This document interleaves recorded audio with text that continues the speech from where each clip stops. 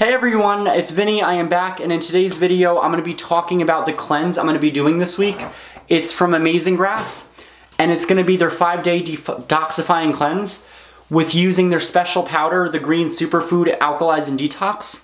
So, I did a review of this before, um, and I didn't get a chance to quite do this detox, and I was kind of new to YouTube at that time, so I never went through with it. But now that I have the time to do this, I'm gonna be doing this cleanse, and this cleanse was created with Amie Valpone. She's a holistic health coach, a celebrity chef, and a wellness expert. And I think she is awesome because I've read some of her works.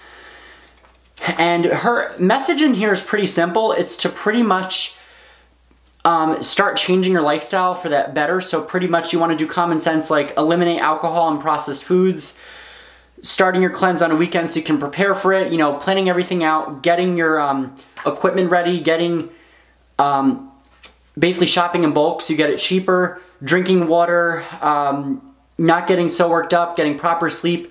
So I like how she incorporates your lifestyle into this because a detox is not a diet, and that's what a lot of people think it is. You can actually eat a lot of food on a detox. And I like how the meal plan is very simple. Um, it tells you the importance, the importance of doing a detox and the pH and why digestion is so crucial to health.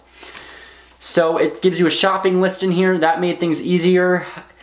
It talked about um, the foods you'll be eating. So today I'm having lemon water and all that.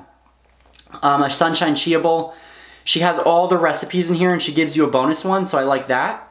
She tells you about the importance of getting the, the Dirty Dozen, which are the most sprayed foods in organic, so you can at least get better food that way. So you don't have to go and get everything organic, but you at least have a list of what you need to get organic.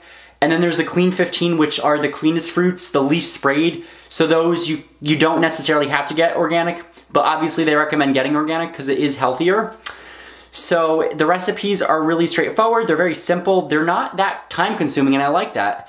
It's pretty easy and it's doable versus spending an arm and a leg on a different cleanse or uh, certain special foods that are tough to get a hold of. So everything I got locally, I got it from a farmer's market and I got a lot of local stuff. So I got a lot of veggies for dirt cheap.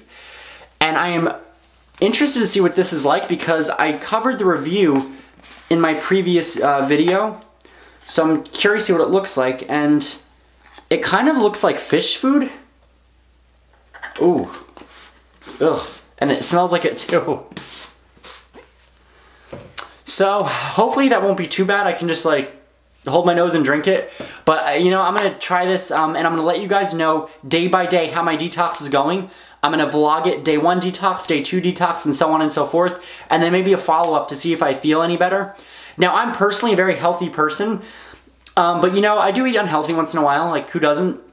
I'll have a lot of vegan snacks or vegan candies, and you can get bloated from that sometimes. So this is supposed to just balance out the pH uh, in my body and help the digestion work better and get all the poisons out of me, which I'm excited.